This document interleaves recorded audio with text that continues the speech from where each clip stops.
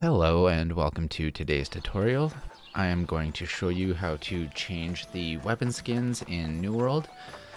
If you are like me, you got the Golden Rage set from watching people play the beta on Twitch ahead of time, and I will show you how to go ahead and equip that right away, right off launch.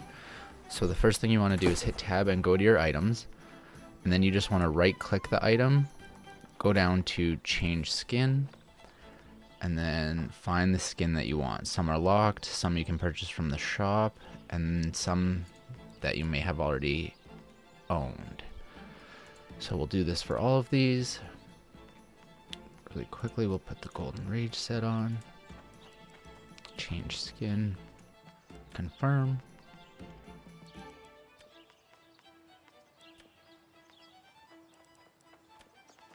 And let's see. Oh, I've also got the Woodsman set here, but let's go with the Golden Rage boots. And just like that, I am now wearing the Golden Rage set. The skin.